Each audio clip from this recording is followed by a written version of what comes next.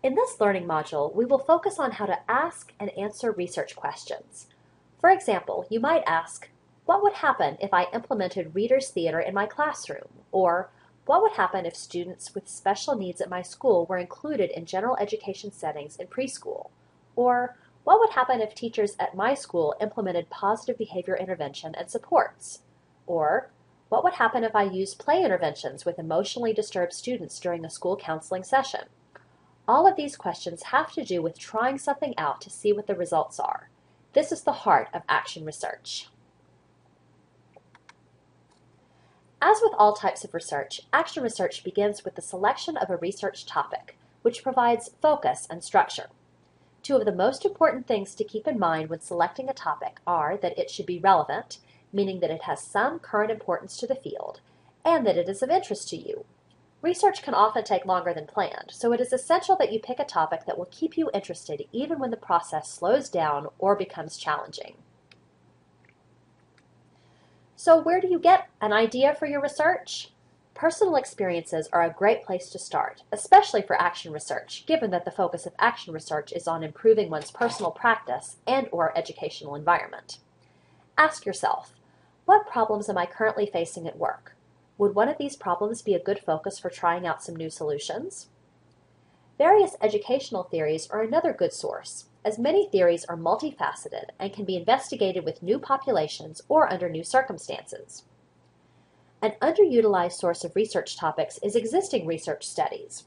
Many researchers are hesitant to replicate existing studies because of a belief that this is less important or useful.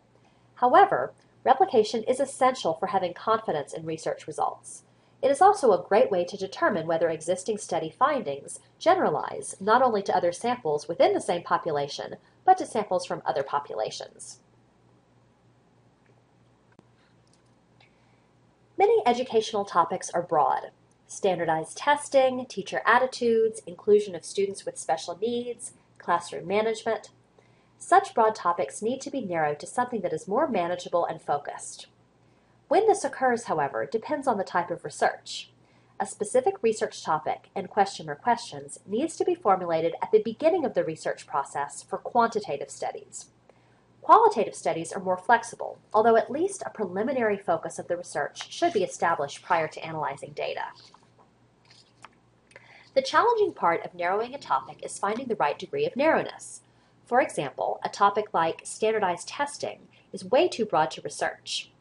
However, specific aspects of testing, like a comparison of the performance of first, second, and third generation students, is manageable and relevant.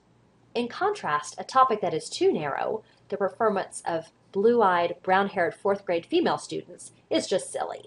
There would be no theoretical or practical reason to analyze data at this level of specificity. Remember, as you narrow your research topic, you will find fewer articles that are closely linked to your topic you will need enough prior research that is sufficiently similar to your topic, though not necessarily identical, to build a case for your own study, so don't narrow too much. The research topic should be stated clearly. In quantitative research, this statement should describe the variables of interest, that is, what you are fo focusing on, any relationships among the variables, and a few aspects of the sample. For example, the topic to be investigated is inner city and suburban teacher satisfaction.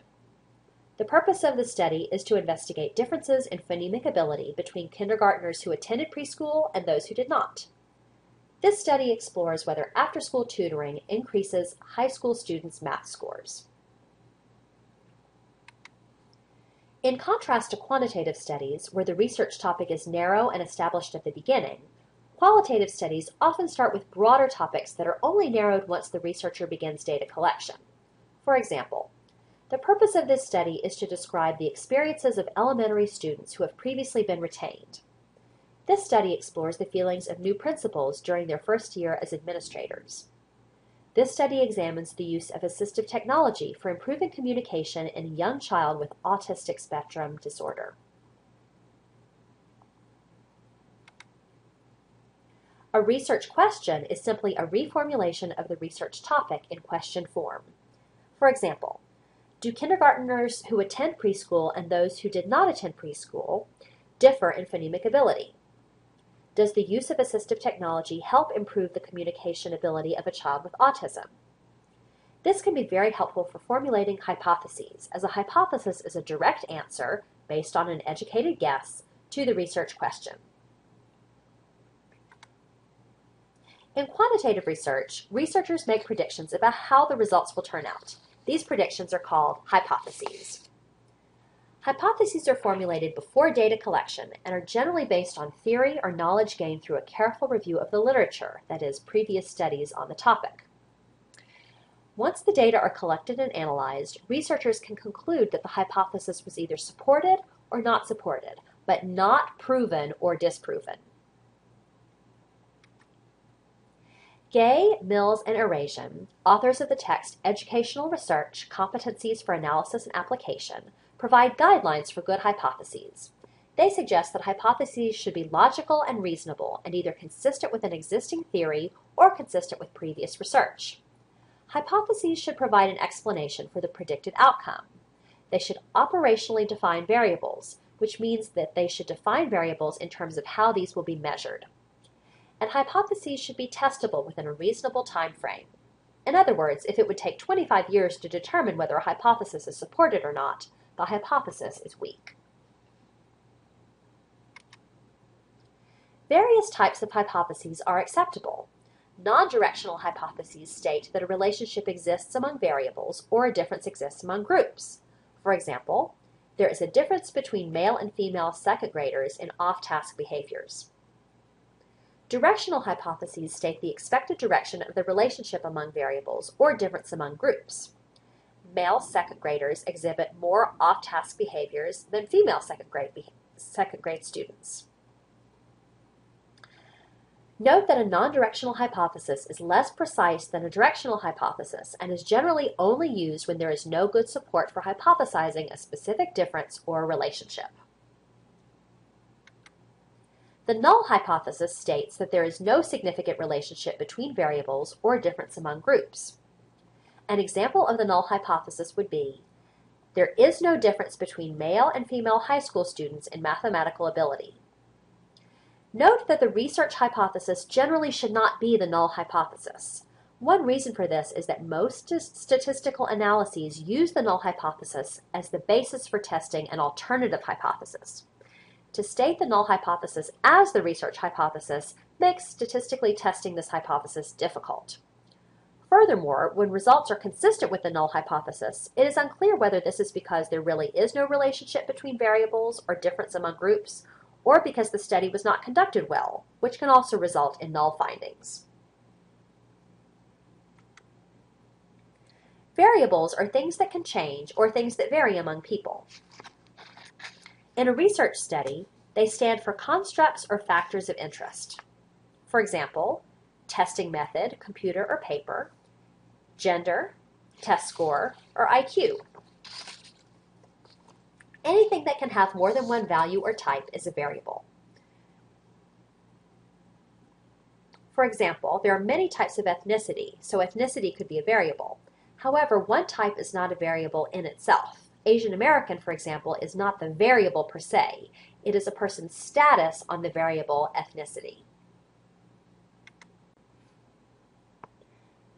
As we dive further into the details of hypotheses, we must cover a few more terms.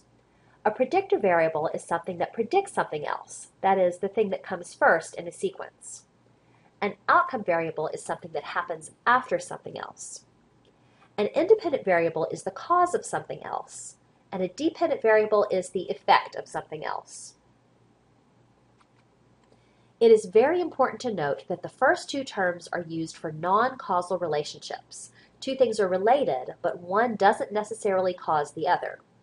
The second two terms are used for causal relationships. The difference in the independent variable causes differences in the dependent variable. Now let's practice stating some hypotheses using this model. P stands for the participants, X stands for the predictor or independent variable, and Y stands for the outcome or dependent variable. Try to identify the P, X, and Y. The purpose of this study is to examine benefits in ninth grade students' achievement based upon attendance at a Saturday tutoring program. The participants are ninth grade students. The predictor variable is Saturday program attendance or non-attendance. The outcome variable is achievement. Now you try. Identify the P, X, and Y. The purpose of this study is to examine differences in social skills between those middle school children who are involved in extracurricular activities and those who are not involved in extracurricular activities.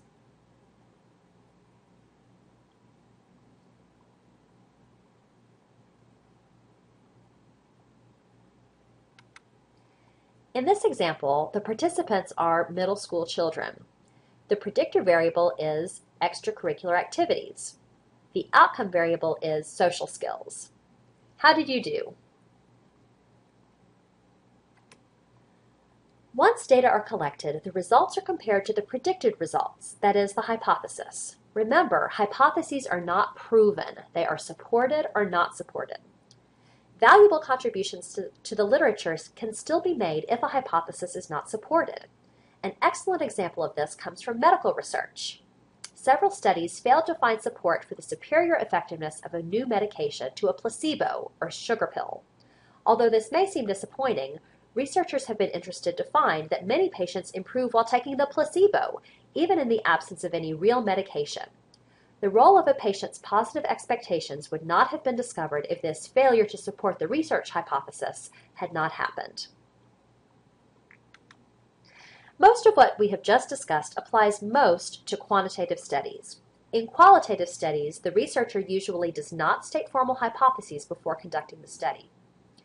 Qualitative researchers sometimes develop flexible guiding hypotheses, but it is more typical for them to start with research questions and not to make guesses about how the results will turn out.